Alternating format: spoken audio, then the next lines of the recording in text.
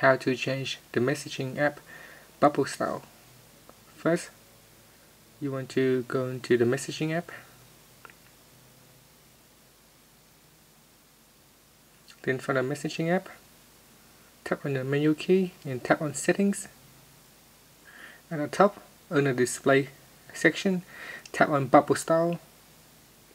In here you can choose um, the bubble style for the for the sender and for the receiver so um,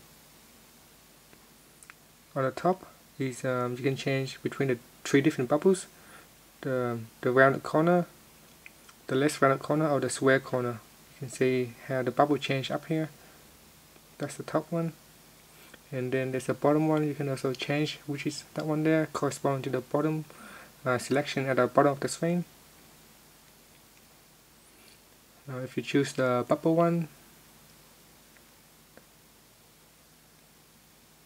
So some people like to use the swirl square bubble. Some people like to use the round rectangle bubble. So it's up to you.